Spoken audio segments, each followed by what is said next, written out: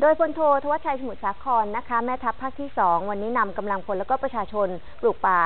ปลูกต้นไม้นะคะ ฟื้นฟูป่าต้นน้ำเฉลิมพระเกียรติสมเด็จพระนางเจ้าพระบรมราชินีนาถเพื่อเพิ่มพื้นที่ป่าไม้กว่า 100 ไร่ ในพื้นที่อุทยานแห่งชาติน้ำตกตาดโตน ที่บ้านแหลยาคาตำบลท่าหินงมอำเภอเมืองจังหวัดชัยภูมิ ซึ่งถือว่าเป็นพื้นที่ป่าต้นน้ำให้มีความอุดมสมบูรณ์แล้วก็เป็นแหล่งแหล่งรองรับกักเก็บนะคะ แล้วก็ควบคุมการไหลของน้ำฝน สู่แม่น้ำรวมทั้งการรักษาระบบนิเวศ แล้วก็การป้องกันการเกิดปัญหาอุทกภัย แล้วก็ดินโคลนถล่มอย่างยั่งยืน